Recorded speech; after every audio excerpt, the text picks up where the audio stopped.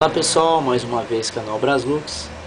Então pessoal, hoje eu vou mostrar aí para vocês Essa bela moeda E rara de se achar, né? Bem difícil pessoal, essa aqui é dos direitos humanos. É 50 anos da declaração dos direitos humanos, né? Essa moeda aqui é bem difícil de encontrar essa moeda pessoal.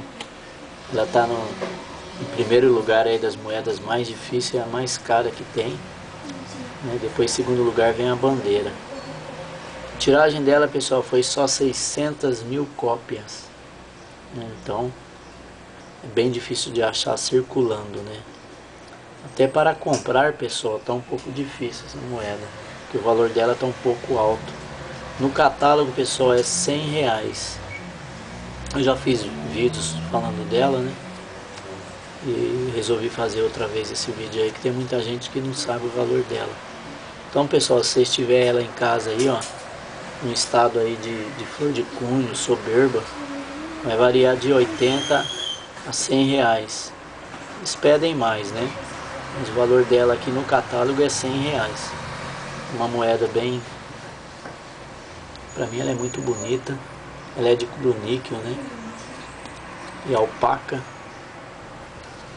Ela está em primeiro lugar aí das moedas mais mais rara e mais cara aí do, do nosso real. Aqui pessoal, vou mostrar para vocês aqui, ó.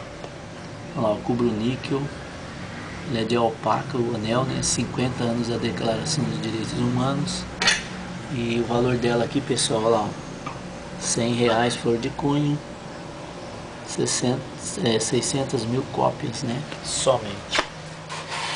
Então esse aqui é o 100 reais, o valor base, né pessoal? Mas ela é vendida de 80 até mais de 100 reais. 100, 130 reais por flor de cunho, né? Ok pessoal, então tá aí.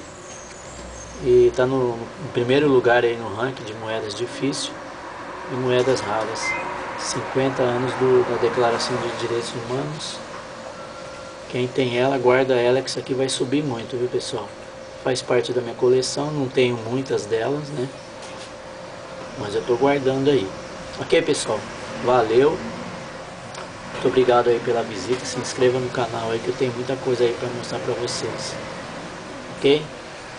Até mais, pessoal. Até o próximo vídeo.